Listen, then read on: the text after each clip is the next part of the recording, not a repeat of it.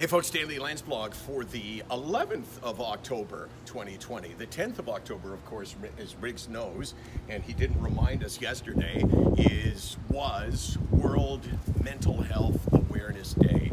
And uh, we missed a case. I'm sorry. Are you sorry? No. No?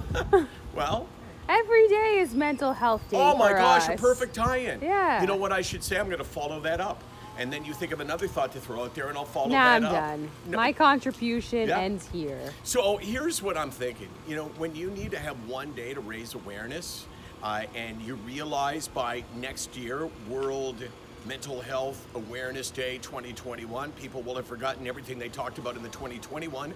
It's kind of kind of depressing.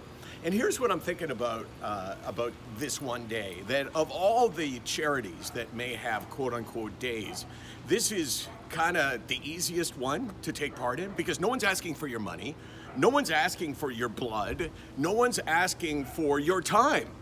All we're asking for is something really simple that you think about this. Just think about it. Am I part of the problem? And the problem is, as we talk about mental health awareness, the problem is that people don't see mental health, mental illness, as being a real illness. Kind of like, yeah, well, you know, it's, uh, I know it's not good, but, and you've heard me say this before, every word after the but is the stigma. And it's pretty sad that in 2020 we still need to do it. And it's pretty sad that not only is is the stigma alive, but it's alive and well. So here's what I want you to do. Raise your right hand and repeat after me. I, I, Michael Landsberg, Michael Landsberg. You would not say Michael Landsberg, of course. Will, will commit myself, commit myself to examining my views on mental illness. To examining my views on mental illness. Do I see depression, for instance? Do I see depression, for instance? Riggs, one sec, bud. As being the same as, as being the same as cancer or diabetes or lupus cancer or diabetes or lupus. I don't know why I'm repeating myself because in theory Yeah. I'm telling you to do Little it, not for me annoying. to. What's that? It's a little annoying. Yeah, it is a little bit annoying.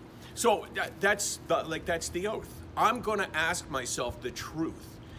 Even if you suffer from something like depression, it's possible that you beat yourself up, which would be a reflection of how you see the illness. So just think about it. So that's the oath, which is uh, I'm going to examine myself and my views on mental illness and determine whether or not I am part of the problem.